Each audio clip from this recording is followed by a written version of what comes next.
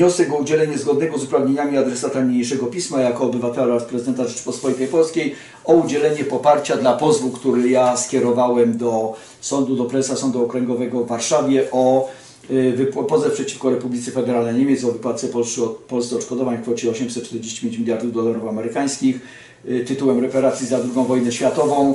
Y, Duda, ani me, ani be, ani kukuryku. Panie prezydencie Andrzeju Dudo, cała Polska patrzy na Pana, co Pan zrobi w kontekście tych Pana wypowiedzi z poprzednich lat. Wystawimy rachunek Niemcom, co Pan zrobi z moim y, wnioskiem. Wtedy, gdy Sąd Okręgowy w Warszawie rozpoczął rozpoznawanie mojego pozwu, to ja skierowałem do niego pismo z 12 czerwca 2017 roku, Andrzej Duda, prezydent Rzeczypospolitej Polskiej i wniosek o udzielenie zgodnego z uprawnieniami adresata niniejszego pisma jako obywatela oraz prezydenta Rzeczypospolitej Polskiej poparcia dla tego pozwu, który złożyłem i dostałem odpowiedź od pana prezydenta, Kancelaria Prezydenta Rzeczypospolitej Polskiej, Biuro e, Dialogu i Korespondencji.